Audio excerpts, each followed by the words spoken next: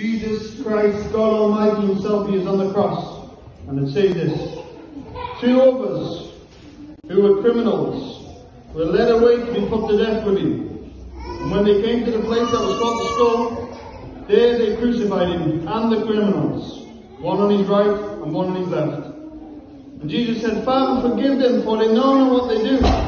And they cast lots and divided His garments. And the people stood by watching. But the rulers scoffed at him, saying, He saved others, let him save himself, if he is the Christ of God, his chosen one. The soldiers also mocked him, coming up and offering sour wine, and saying, If you are the king of the Jews, save yourself. There were also inscriptions over him, This is the king of the Jews. One of the criminals who hanged railed at him, saying, Are you not the Christ? Save yourself and us. But the other rebuked him, saying, Do you not fear God? Since yet you are under the sentence of condemnation. And we indeed justly, for we received our due reward of our deeds, but this man has done nothing wrong. And he said, Jesus, remember me when you come into your kingdom. And Jesus said to him, Truly I say to you, today you will be with me in paradise. Glory to the Lord. This is the story of Jesus, a true story now. This is a true story of what happened to Jesus, that he came down on this earth came down to do one thing, not to make a bad man good, not to make a good politician, not to be a good person. He came to make dead men live again. That's what the Lord come. And how did he do it? He didn't do it by fancy words. He didn't do it by his miracles. He did it by dying upon the cross for me and for you. This is what Jesus came to the earth for. He came on the earth to be crucified and to die.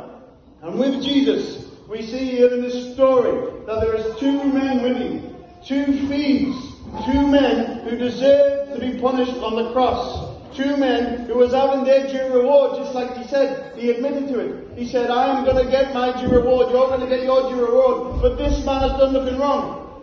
These two men were thieves and they were getting what they deserved. They were getting what they deserved and getting punished, being put on the cross and die. And I want to tell you something today. Me and you, if we don't accept Jesus into our lives tonight, if we don't do something about it tonight, we will get our due reward as well. We will get our due reward, and you don't want to know what your due reward is if you don't accept Jesus into your life. What you will get, and what I will get if I didn't accept the Lord into my life, and I didn't repent and live a holy and righteous life towards the Lord, I will get hell. And these two men, they are so different. Two of them thieves, just about to die. But two of them went to a complete different eternity forever and ever. One man went to heaven with Jesus. He said, Lord, remember me when you come into your kingdom. He confessed of who he was. He realized who Christ was next to him. He realized who Jesus was was right next to him. And he accepted him.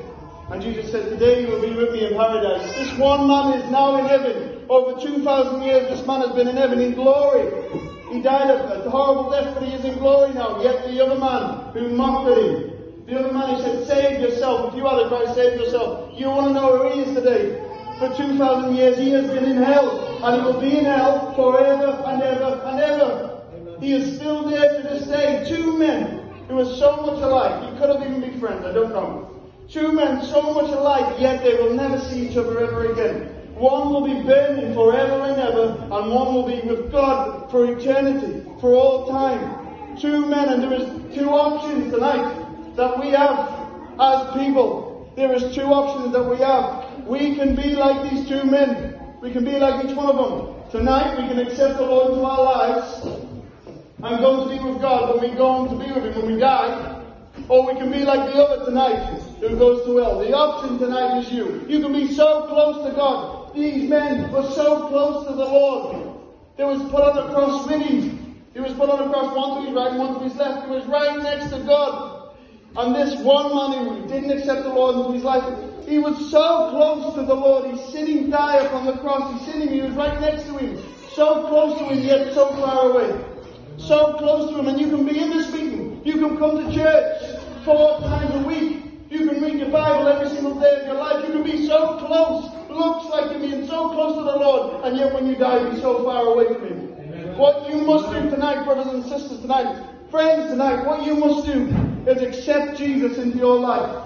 And not only accept Him into your life, what have you got to do then? You've got to turn away from your sin and repent. Live a holy and righteous life towards the Lord. There are so many people today, unfortunately, that say they are Christian by mouth, but their hearts speak a different word. They say they are Christians, yet their lives speak differently. You know what the Bible tells me I have to do when I accept the Lord into my life? I have to change. There must be fruit of what I have said. When I accept the Lord into my life and I say, Lord, forgive me, there must be something changing in my life. The old man has to die and the new man has to live. We've got a scripture there. Therefore, if anyone is in Christ, he is a new creation. Are you a new creation tonight? Can you say that tonight? If you claim to be a Christian tonight, can you say that the old man is dead and the new man is come? Are you changed tonight? Is there anything different in your, in your life tonight, or is it just a title? I claim to be a Christian, and yet my life is no different. Friend, you are not a Christian. Those that haven't accepted the Lord into the life tonight,